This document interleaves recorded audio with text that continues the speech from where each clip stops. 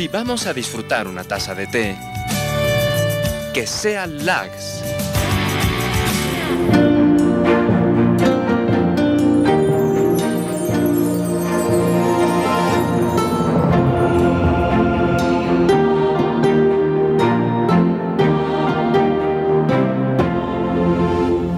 27 de abril del año 2014, una fecha histórica porque por primera vez han sido canonizados dos papas juntos.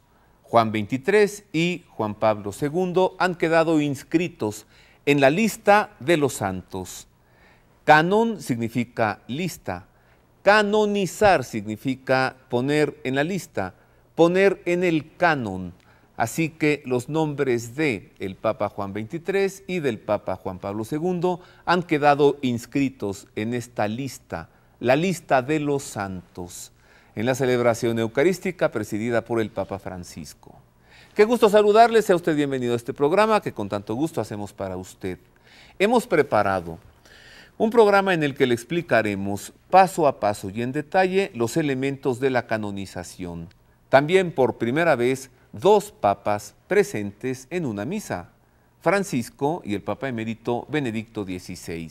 Así que comencemos. Esto que usted verá enseguida sucedió antes de que iniciara la misa para la canonización. Estos son los previos. Ese es el detalle.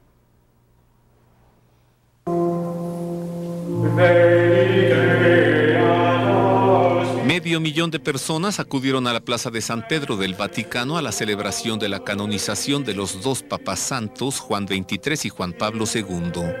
A los asistentes se sumaron los 300.000 que siguieron la celebración en pantallas gigantes distribuidas en varias plazas públicas de la ciudad de Roma. Ya desde las 5 de la mañana, hora de la apertura de la Plaza de San Pedro, la plaza y sus alrededores estaban repletas de peregrinos procedentes de todo el mundo. Si bien los procedentes de Polonia representaron uno de los grupos más numerosos y evidentes. A ellos se sumaron las delegaciones oficiales de más de 100 países y más de 20 jefes de Estado.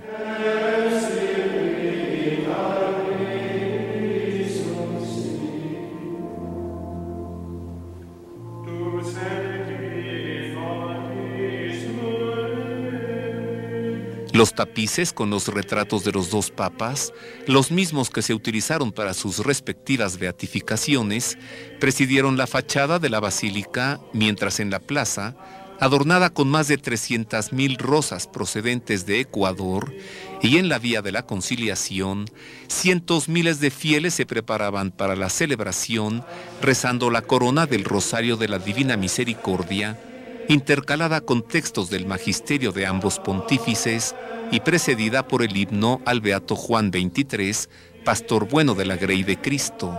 El rezo finalizó con el himno al Beato Juan Pablo II, Abran las puertas a Cristo.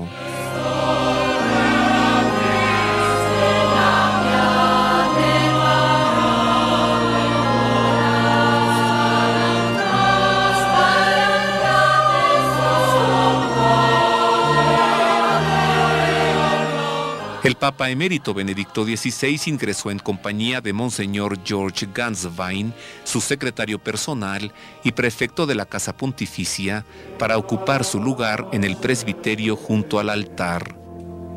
Bajo una lluvia intermitente y mientras se rezaba la letanía de los santos, dio inicio la solemne procesión de los cardenales y obispos concelebrantes, quienes antes de ocupar sus lugares saludaron a Benedicto XVI quien también concelebró con el Santo Padre Francisco.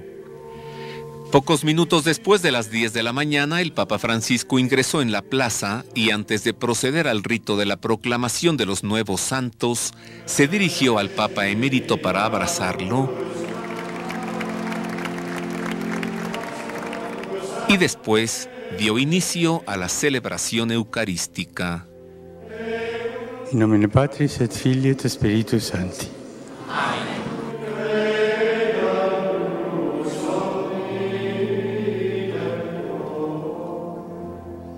Qué grato resultó volver a ver a Benedicto XVI. Qué grato también, también ver tanta gente en la Plaza de San Pedro. El número final es 800 mil fieles. en la Plaza de San Pedro, en otras plazas de Roma y en las calles aledañas a la Vía de la Conciliación. 800 mil personas. Ya quisiera cualquier político, el más importante del mundo, congregar, no diga usted a 800 mil, ni la mitad, ya quisieran congregar a la tercera o a la cuarta parte de eso. Esto apenas iniciaba. Vamos ahora al inicio. Recuerde que es la Santa Misa y que prácticamente al iniciar tiene lugar el rito de canonización. Los postuladores presentan al Papa las peticiones y luego él pronuncia la fórmula de canonización y lo hace en plural. Y más adelante le diré por qué lo hace en plural.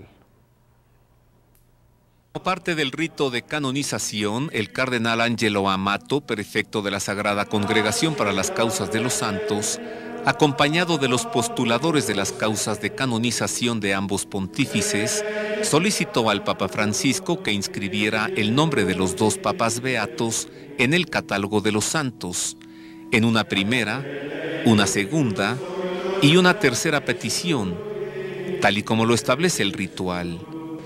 Beatissime Pater,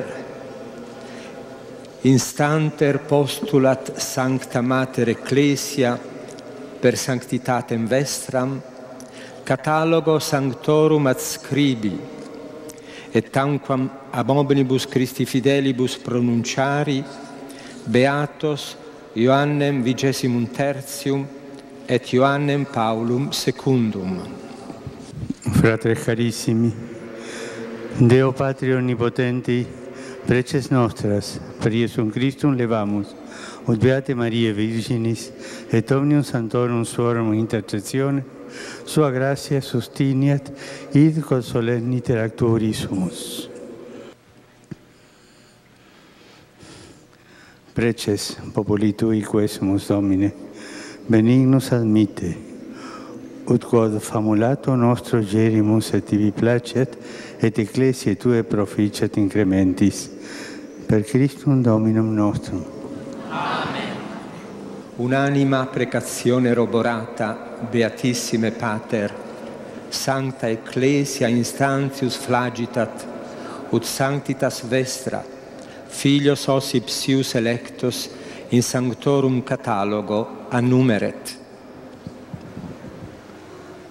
Spiritum vivificatem igitur invocemus, ut mentes noster illuminet atque Christus Dominus ne permita terrare ecclesiam suam in tanto negotio. Beatissime Pater, Sancta Ecclesia, Domini promisso nixa spiritum veritatis in semitendi, qui omni tempore supremum magisterium erroris expertem reddit, instantissime supplicat sanctitatem vestram, ut os ipsius electus in sanctorum catalogum referat. En respuesta, el Santo Padre procedió a pronunciar la fórmula de canonización. Ad honorem Sancte et individue Trinitatis, ad exaltationem fidei catholice, et vitae Christiane incrementum, autoritate Domini nostri Iesu Christi, Beatorum Apostolorum Petri et Pauli ac nostra, matura deliberazione preabita, et divina ope sepius implorata, ac de plurimorum fratum nostrorum consilio, beatos Ioannem vicesimum tertium, et Ioannem Paulum secundum, sanctos esse decernimus et definimus, ac santorum catalogo adscribimus, statuentes eos in universa ecclesia, inter santos pia devotione recoli devere, in nomine Patris et Filii et Spiritus Sancti. Después de la fórmula, siguió la presentación de las reliquias de los dos nuevos santos en similares relicarios de plata que permanecieron expuestos en el altar durante la celebración. El de Juan Pablo II con la ampolla con su sangre mostrada el primero de mayo de 2011 durante su beatificación y el de Juan XXIII elaborado de la misma forma y materia pues para su beatificación el 3 de septiembre del año 2000, su cuerpo todavía no había sido exhumado. Después se proclamó el canto Jubilate Deo.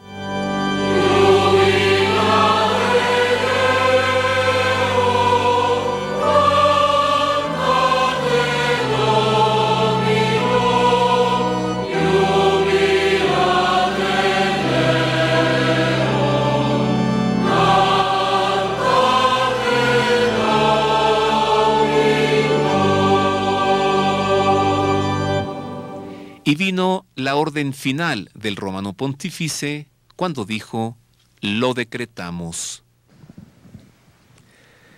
Beatissime Pater, nomine sancte ecclesiae, enixas gratia sago, de pronunciazione a sanctitate vestra facta, ac humili terpeto, uteam sanctitas vestra, super per acta canonizzazione literas apostolicas dignetur decernere. Decernimos. Luego del rito de canonización, continuó la celebración eucarística con el canto del Gloria.